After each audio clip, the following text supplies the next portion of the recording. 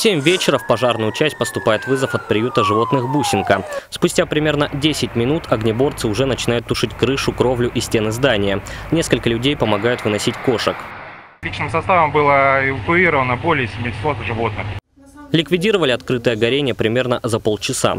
Огонь задел 150 квадратных метров.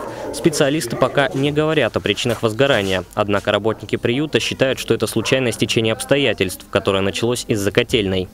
Скорее всего, это искра от печи, и были стройматериалы, возгораемые легко, находились в непосредственной близости, их просто не успели отнести.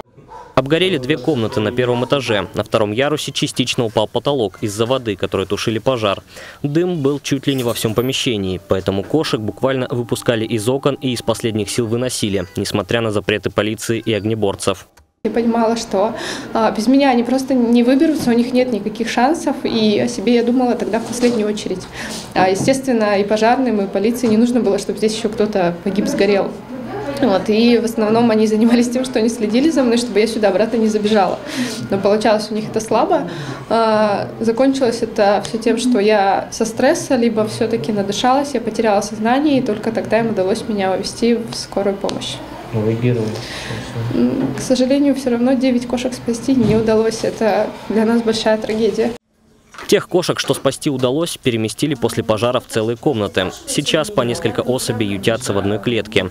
Часть отдали на передержку, еще несколько сбежали, попутно поцарапав спасителей.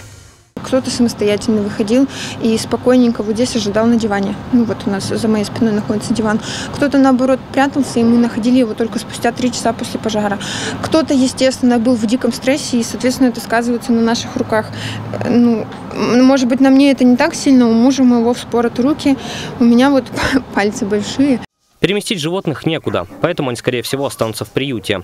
Для этого волонтеры сейчас делают генеральную уборку. Помочь все неравнодушные могут, перейдя по QR-коду на экране или переводом средств на эти телефоны. А помощь очень нужна. Тем временем власти Барнаула уже взяли на контроль восстановление помещения. Чем быстрее здание отремонтируют, тем больше шансов, что животные смогут пережить эту зиму. Данил Кузнецов, Владислав Ковалев. День с толком.